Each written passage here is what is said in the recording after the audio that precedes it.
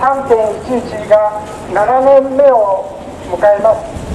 まだ最近はテレビなどや新聞などで現地の福島の様子が報道されているのを見るにつけ全く事故が収束していない。えーこの前飯舘村の方が来て、えー復興して帰ってこいと言われてもとても帰れる状態じゃない。家の周りはフレコンバックの山だということです。安定前にも一度行ってみな行ってみたんですが、えー雨の中でね本当にみんな真剣に原発はいらないんだということで、えー叫んでいました。岩木の方へ行って、まあ、2年3年ぐらい回したんですけどもその3年の間全然、まあ、公園の線量は変わっていません。原発なけりゃ花も咲く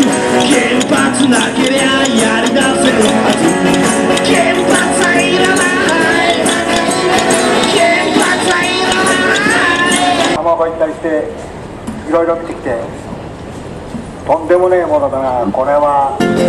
原発いらない。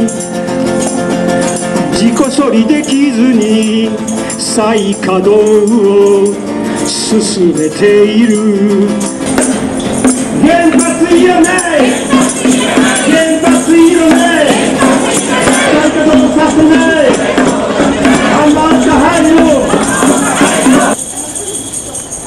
Exato.